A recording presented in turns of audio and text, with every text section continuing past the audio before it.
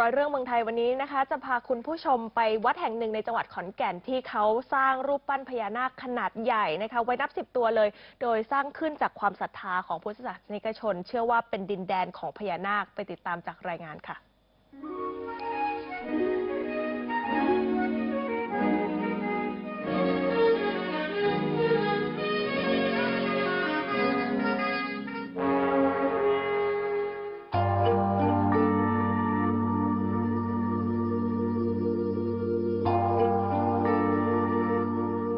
พ่อเคยไปทุดงไปได้ได้ยินพญานาคร้องครั้งหนึ่งอยู่ที่อำเภอด่านซ้าย ไปกับครูบาอาจารย์ตอนนั้นไปพญานาคมันร้องภูสะเทือนเลยนะครูบาอาจารย์ว่าเออพญานาคมันร้อง แล้วที่นี่ตอนพอหลวงพ่อมาอยู่นี่ก็พาโยมมานั่ง พญานาคร้องสามครั้งแต่ร้องนี่ตอนแรกมันจะร้อง สียงดังกังวานมาก คนเราจะลุกชันเลย เสียง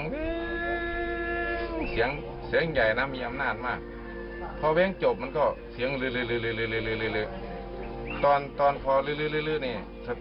แผ่นหินนี่อยู่นี่สะเทียนพวกพระก็กลัวที่นี่กลัวนึกว่าแผ่นดินมันไหว โยมก็กลัวเหมือนกันวิ่งมาหาหลวงพ่อหลวงพ่อว่าเออไม่ใช่อะไรเสียงพญานาคเขาร้อง ร้องตั้งสามครั้งนะก็เลยสร้างพญานาคให้ขึ้นเป็นสักขีพยานของเขาที่เขามาบอกเขามากำหนดเหตุผลให้เรา ในความหมายว่าจะมีสิ่งที่เป็นมงคลเกิดขึ้นนั่นแหละก็เลยสร้างพญานาคพระอาจารย์สุบรรณสิริธโรเจ้าอาวาสวัดถ้ำผาเกิ้งอำเภอเวียงเก่าจังหวัดขอนแก่นเล่าเหตุการณ์เมื่อครั้งได้ยินเสียงพญานาคเมื่อกว่า 20 ปีก่อน จนเป็นที่มาของการสร้างมหาวิหาร พระพุทธสำลิดพรที่รายล้อมด้วยรูปปั้นพญานาคนับสิบตัวขึ้นภายในวัด เพราะเชื่อว่าที่นี่คือวังพญานาค วัดถ้ำผาเกิ้งได้รับการจัดตั้งเป็นพุทธอุทยานเมื่อปี 2552 ตั้งอยู่ในเขตอุทยานแห่งชาติภูเวียง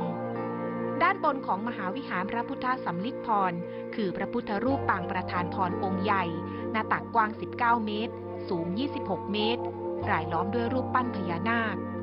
มหาวิหารแบ่งเป็น3ชั้น ชั้นที่1ประดิษฐานพระมหาเศรษฐีนวโกฏค่ะน้องพุกขาตอนนี้นี่เราเราอยู่ชั้นหนึ่งเราอยู่ชั้นหนึ่งครับ เป็นที่ประดิษฐานของพระพุทธรูปนะครับ อันชื่อว่าพระมหาเศรษฐีนวโกฏครับทำมาจากหยกจากอินเดียนะครับนี่ครับซึ่งสวยงามมาก ๆ เลยนะครับ ชั้นที่สอง ประดิษฐานพระพุทธสำลิดพรหล่อจากทองคำและทองสำลิดมีรูปหล่อทองสำลิดรูปเหมือนครูอาจารย์ สายพระกรรมฐานสิทธิหลวงปู่มั่นภูริทัตโต ประดิษฐานอยู่ด้วย ชั้นที่สามประดิษฐานพระบรมสารีริกธาตุและพระแก้วมรกตแกะสลักจากหยกเขียวจากประเทศอินเดีย